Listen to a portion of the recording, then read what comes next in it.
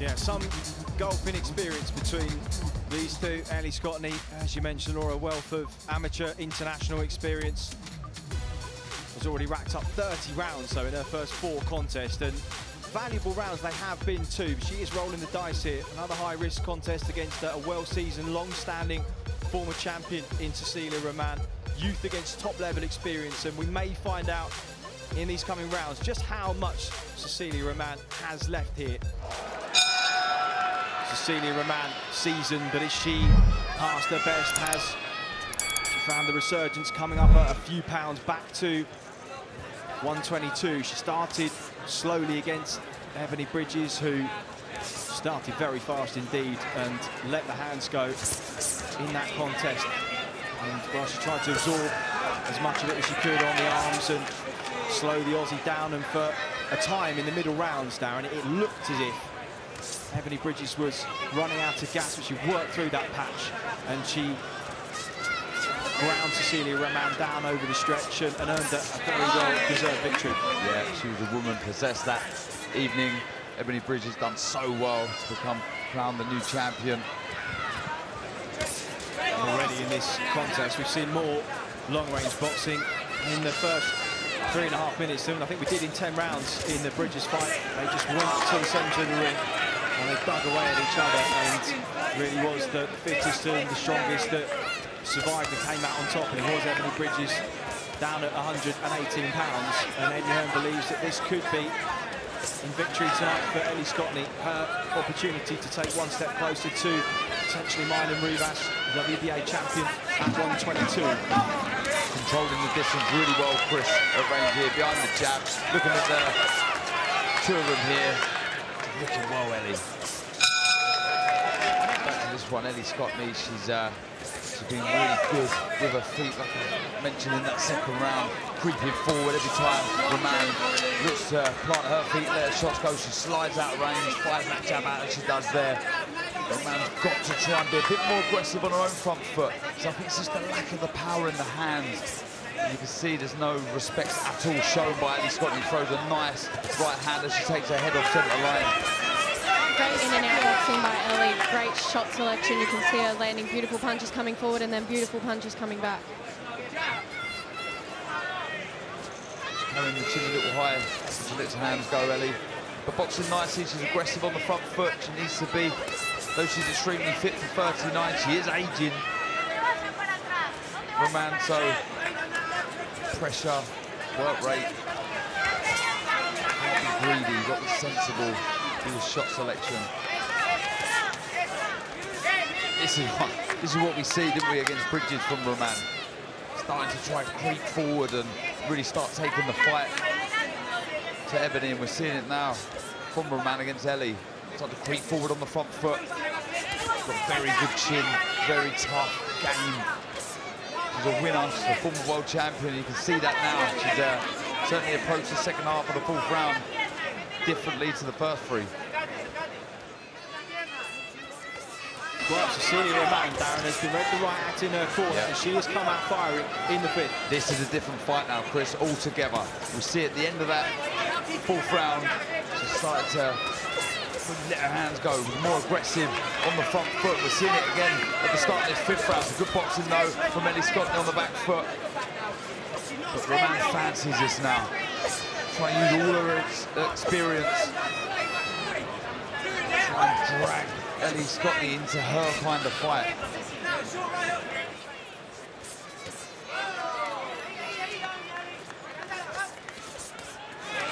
Amazing back foot punching from Ellie here. This is what you've got to do, right, Sky? Keep things simple, show the skill, show the levels. Work the body, work the head, then move. That's all she has to do in this fight. Remember Mark Tibbs saying the game plan with Roman is that if you can get her to lunge, you can't fall over that front foot and presents opportunities up the middle. Bridges, of course, was pressing forward hard herself, but Scotney has the opportunity to walk her onto shots here. She's trying to Good right hand. Took her head off centre line, straight down the guard of Roman. Beautiful shot. smile from Ellie inside, who's working the shots well. Good right uppercut followed by a left hook. Bit wild with that right hand. Roman misses by a mile.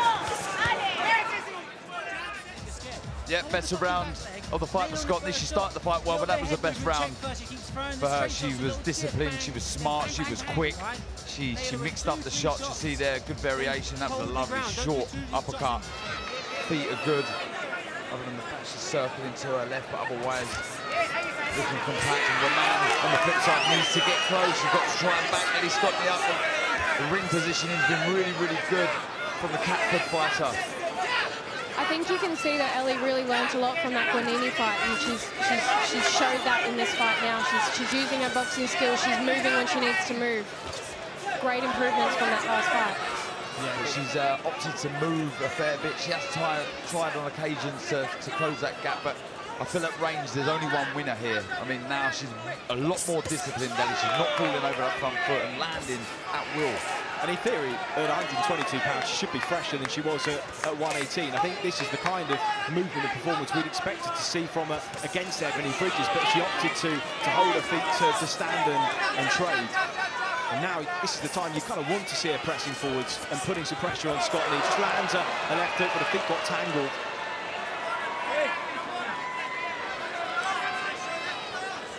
The two rounds to go, and barring a major catastrophe here. Ellie Scotney looks on her way to victory number five against Cecilia Roman. She's going to have to do something pretty spectacular.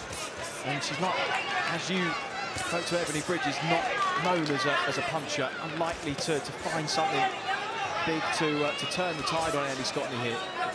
That's got to be volume and hope she can force some sort of stoppage or oh, some blood running down the face now. Seems to be coming from the top of the forehead of Roman. Ebanie Bridges is seeing blood and she's really fighting down on the gums. She doesn't really need to be doing this, if I'm honest. We'll have to get a look at what caused that. Yeah. Maybe the heads came together, but Ellie Scotney's just sensed blood quite literally. And she's really putting her hands together now, putting Roman under all sorts of pressure, piling it on. Ellie Scotney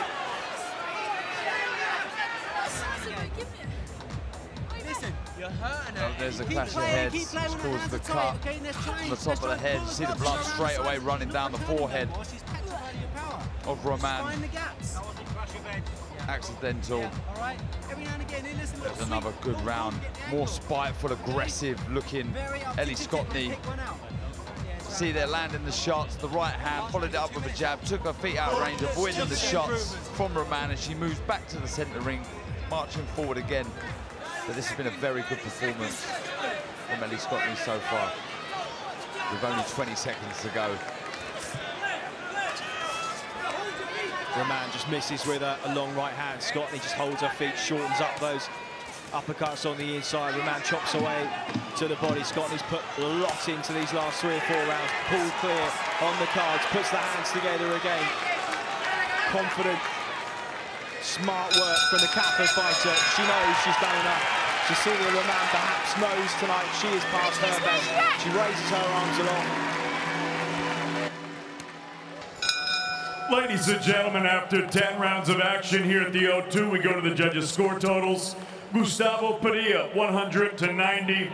Bob Williams and Jan Christensen both scored about 99 to 91 all three for your winner by unanimous decision.